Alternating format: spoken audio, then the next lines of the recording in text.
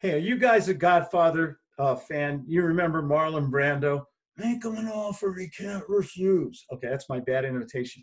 But one of my favorite rules in my new book, The GUTS Sales Method Rules, uh, audio, hardcover, digital version, right on my webpage, claudediamond.com, is the Godfather close. When sometimes you're when you're not closing somebody and it's almost over and they're dismissing you. Oh i have to go claude. Um, i got to pick up the kids from taekwondo and my wife my wife's breaking boards today and everything like that and you're getting off the phone you only have seconds to maybe get their attention again. That's where the godfather close comes in.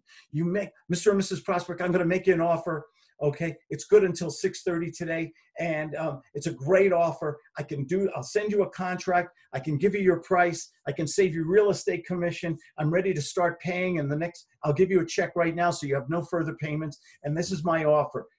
And you make something so, uh, you make an offer so creative so compelling so enthusiastic and you put a time frame on it. Always put a time frame on it.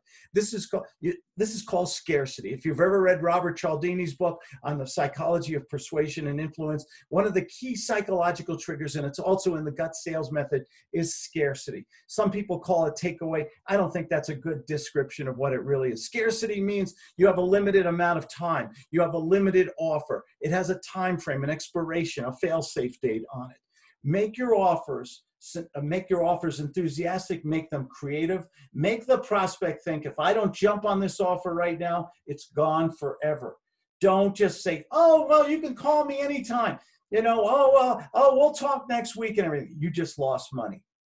You gotta, you're on the phone, you've got to use, use that Godfather close. It's a lot more details in my book, but it's a great technique for creating, uh, getting the prospect to pay attention and to get a commitment now or to fire them right away. Make them offers with that scarcity psychological trigger, and you will see magic happen so often. These are the techniques I love to talk about because sales is more than just knocking on a hundred. It's not a numbers game the way they talk about it. In fact, I'll do a video on that. When I hear somebody say it's a numbers game, that's really one of the myths of sales. Sales is not a numbers game the way gurus talk about it. So remember, um, make him an offer he can't refuse, and you will see wonderful things happen. Okay, go to my webpage, claudediamond.com. Um, free books, uh, free uh, free consultations, and I do answer my own phone 970 281 5151. Take care.